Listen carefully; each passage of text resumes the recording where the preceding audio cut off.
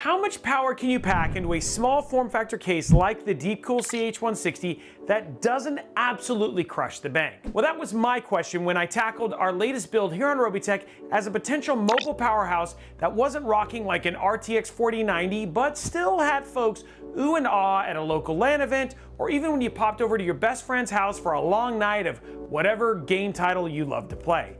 Enter the Deepcool CH160, an absolutely crazy small case. Well, comparatively when you think about the rest of the market, that was just brimming with possibilities. So what did I choose? What did I ultimately decide to go with? Well, before we jump into that and the build, why don't you go ahead and smash that subscribe button, whip that like button, and ring that notification bell so that you don't miss builds like this in the latest cases with all the latest hardware. So now let's dig in and see just how this little beast came to be uh, on the stream. In the build that we're doing today, we wanted to do something that was a little bit more reasonable. So if somebody was coming in there and they were like, hey, Robey, I'd love to do a build inside of this case, what parts would you might put into it? Well, we wanted to do an Intel 14700K because it's one of those those CPUs that everybody thinks is like un, impossible to air cool. So we're going to show you it can be air cooled. You can absolutely replace this with like a 7800X 3D, uh, you know, a 7600X. So if you were thinking AMD, totally fine.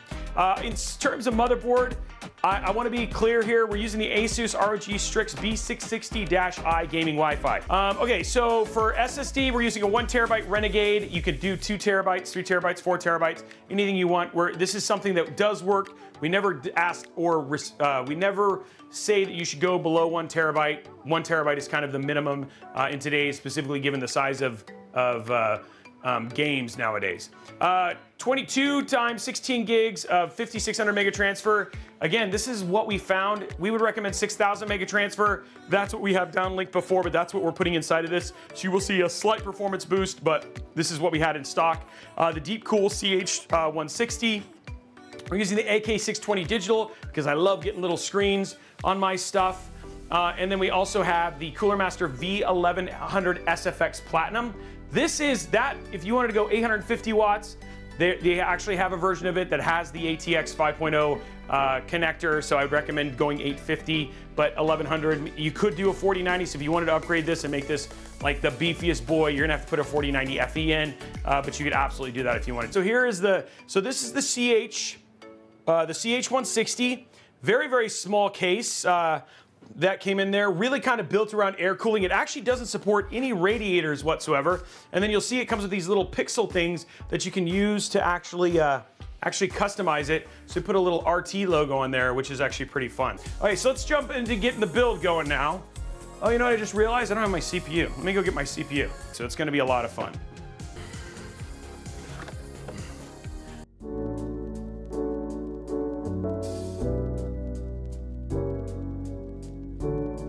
Okay, let's check our, let's put our M.2 in.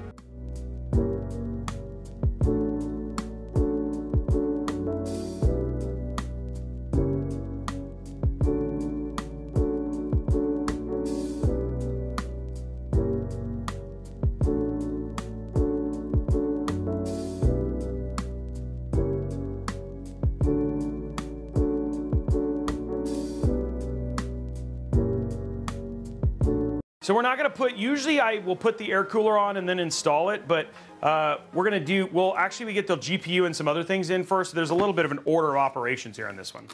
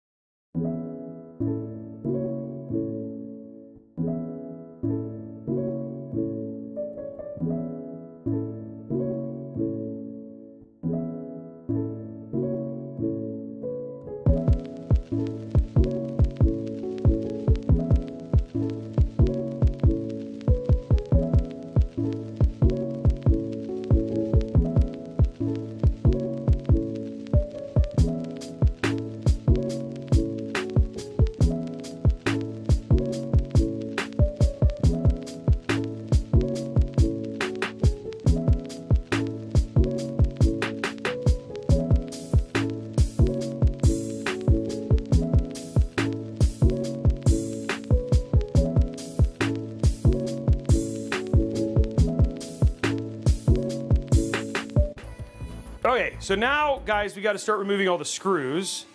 to start getting all this undone. Here.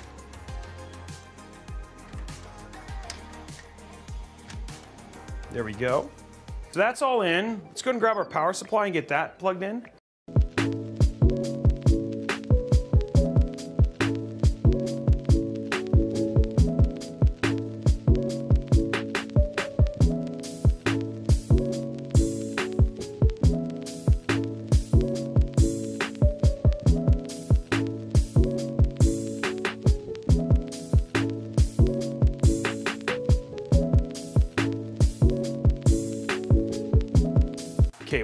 Okay, so here's what I was showing you guys now.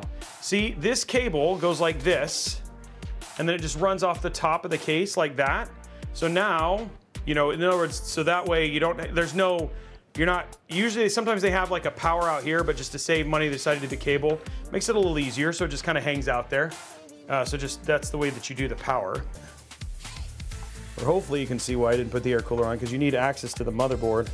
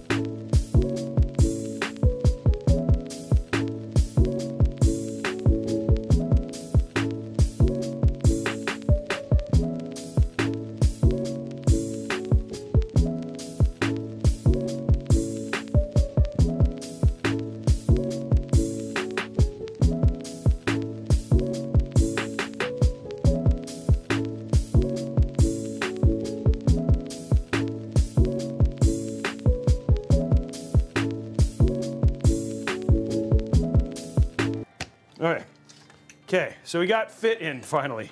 That was a lot of work. Okay, let's get this sealed in and then we can work around it. Just took a little bit of work, but we got it in. Now we can work on making the cables look better.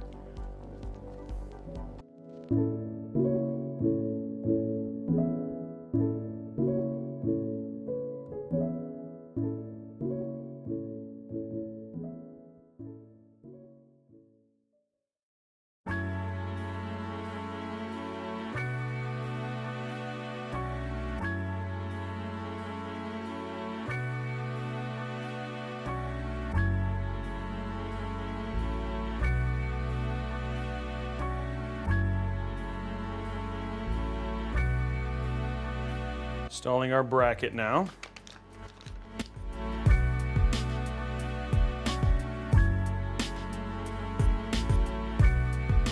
Now, the last portion of this thing.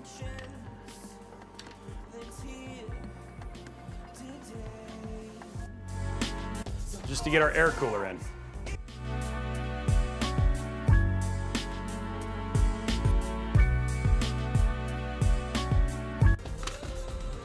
It's time to get our fans on.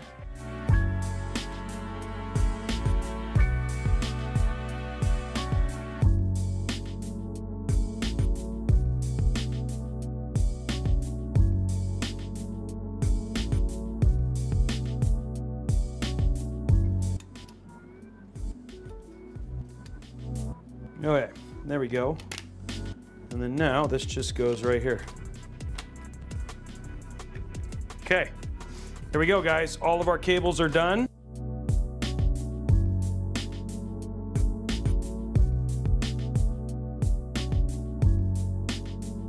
That looks that looks pretty dang clean, right? Like even when you even when you look on the inside, right? Like it's that build looks there's very little that you can actually see on the build there.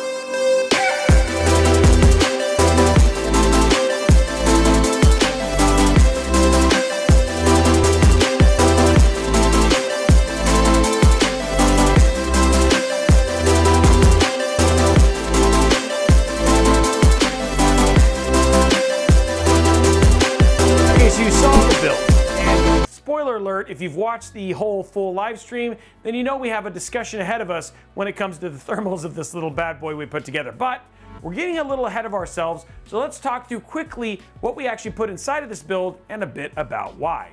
Starting with the CPU in this case, we use the Core i7 14700K. Why the 14700K and not a 7800X 3D? Well, I'm glad you asked. As I've been heading out to lands, to places like PDX LAN or DreamHack, we've started to see a larger number of folks who, while also being at the land, are creating content, streaming, and just doing more than that on top of gaming. But if you wanted to do some streaming or some cut downs or cut, create some content on location, then a 14700K is gonna serve you better as an all-around CPU than say for instance a 7800X 3D. Not to say you couldn't go with the 7700X or anything Ryzen, nothing against that, but that's why I chose the CPU I put into it.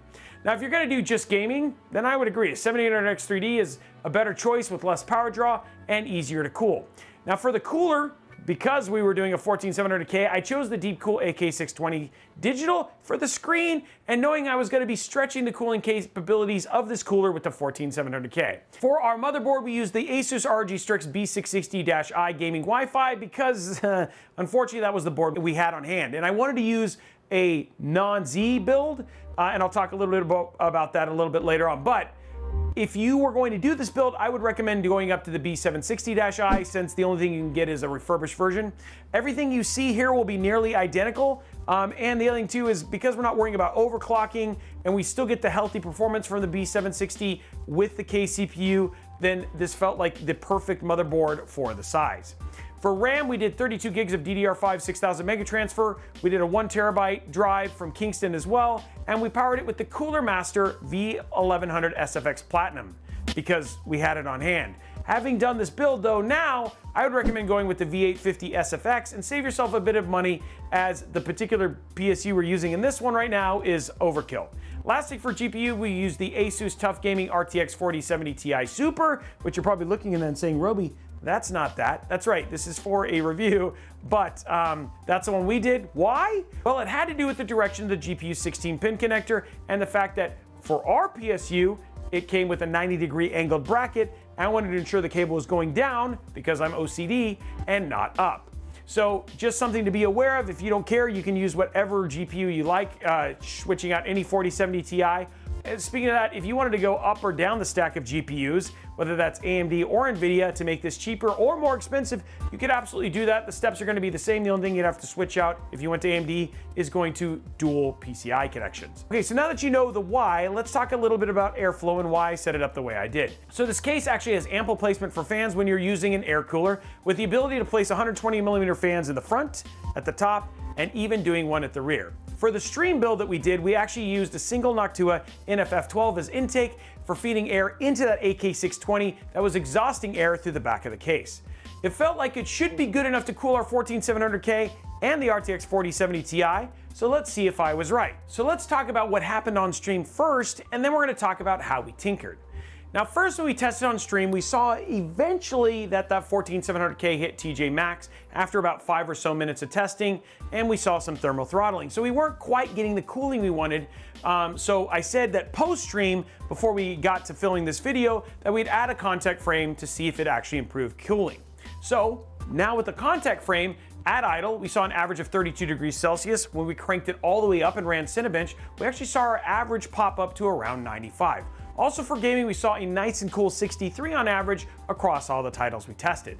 So we're looking at the max that this air cooler can handle and still do long-term CPU heavy tasks like rendering or compiling and not see any major throttling. Remember, it's important to ensure that you turn on all the Intel limits in the BIOS though to make sure you see similar temperatures to what we saw if you decide to do a similar build. For GPU, we didn't have any issues with our 4070 Ti Super, and I doubt anything higher or lower would absolutely be an issue either. GPU temperatures at idle were 32, and when we did gaming or under load, we saw things average out to around 68 degrees. So we got temperatures to a good spot now, and if you wanted to change out the front fan to a 2000 RPM uh, NF-A12, you may even see better results. Okay, so with thermals and airflow out of the way, I do want to say before I jump into gameplay performance and how this thing performed in, you know, many different titles, it is important for me to say that if you're going to do a build like this, it will definitely be worth watching my full stream because there is a lot of order of operations and recording to how you put things in this case